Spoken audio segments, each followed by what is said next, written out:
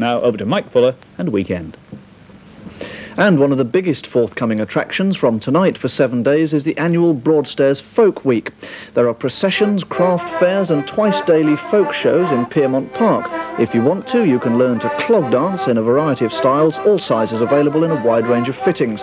Or you can just sit back and listen to the traditional music and enjoy some traditional lubrication. Well, just up the road on Saturday, a record fair to appeal to a wide range of tastes is being held in Margate's Nayland Rock Hotel. But if your clogs are better suited to walking, then Seaford in Sussex might appeal to you tomorrow.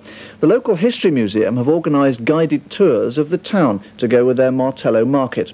And coming east a little bit, the Old Hastings Preservation Society are itching to show you the old town in action in a week-long programme of conducted tours, special exhibitions and craft demonstrations. Or if you've always wanted to walk down the middle of a main road, then the opportunity of a lifetime presents itself on Saturday afternoon.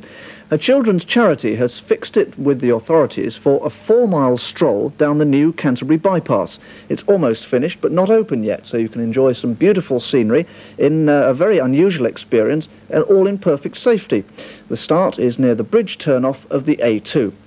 Now, I must press on fast to mention the fete tomorrow afternoon at Rudlow House, Stanhope Road in Ashford, Chartham Sports Club near Canterbury, and St Mary's Children's Home at Broadstairs, and at Oaklands in Hythe, where the Hythe firemen promise a hot time for everyone.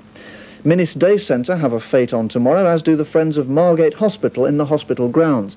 But Westgate-on-Sea Community Centre have plumped for Sunday to hold theirs.